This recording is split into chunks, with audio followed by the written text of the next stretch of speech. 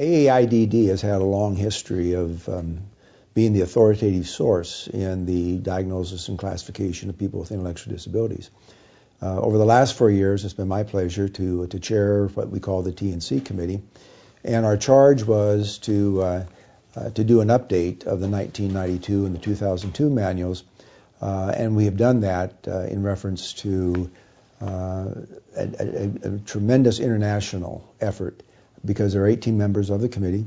those 18 members represent three international bodies plus our own.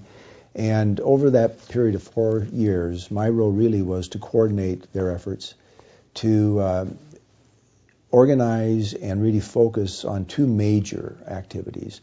Uh, one was we, um, we took a look at and, and spent considerable time on the reviews and critiques have been done of both the 92 and the 2002 manuals. And then, secondly, over the course of that four year period, we uh, published five articles in which we did uh, an update of the literature in the area. Uh, we were able, through those articles, to really consolidate what is the, uh, the best thinking in the world about the condition of intellectual disabilities. And as a result of that, we really have then produced a product that uh, not only clarifies some of the points we made in the 92 and the 2002 manual, but have also uh, given us, I think, uh, increased sophistication in, in the process and, and, and really an increase uh, consistency of the concepts and the terms that we've used over those years.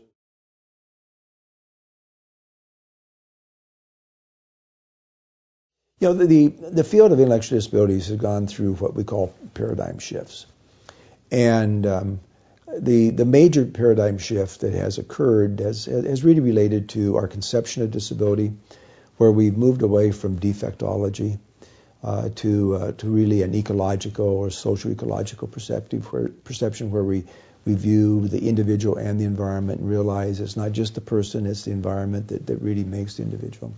But the other major shift has been in how we view supports and uh, the, the critical role that supports play, and to realize that professional services, which historically has been the supports provided to people, is only one kind of support that the system of supports I mentioned earlier is really where the, the future is. Because the systems of support can involve a lot of things. It can involve policies and practices. It can involve incentives. It can involve uh, prosthetics, cognitive supports, opportunities, natural supports, skills and knowledge, etc. And so consequently, as we have moved away from a singular focus upon a support to a systems of support. I think we've really broadened the horizon as to why uh, individuals might be interested in, in this whole process.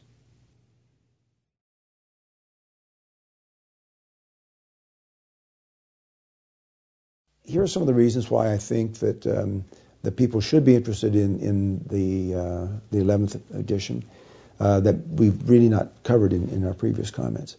Number one, it really does describe why the term intellectual disabilities is a much better term to use. And we spend a lot of time because terminology is very, very critical.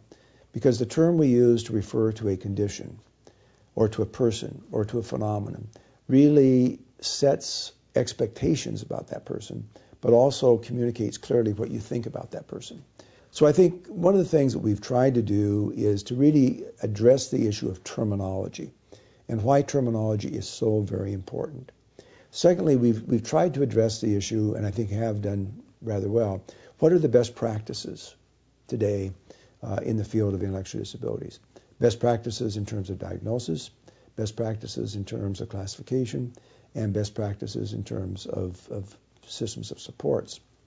And in reference to those best practices and systems of supports, one of the things we did is we looked into the human technology human performance technology literature. And rather than talk about a support for a person, we now talk about a systems of support for the individual, which is the title of, of, of, the, of the, manual. Third, we, we've really attempted to, to involve the international community in that process.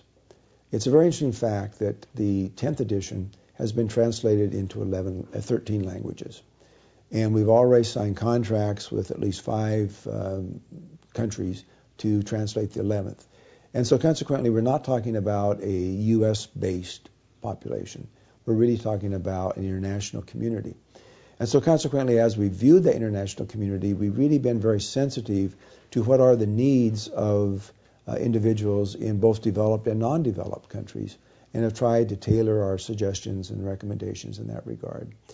And then finally, we, we've added uh, some very rather significant uh, material, we think, in terms of policy and practice. And there's a, a very um, extensive chapter that looks at the impact of the 11th edition on public policy.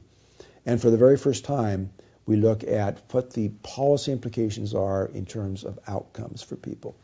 So not only are we talking about the diagnostic classification and systems of supports system, but we're now looking at personal outcomes for, for both individuals and the families that they are members of.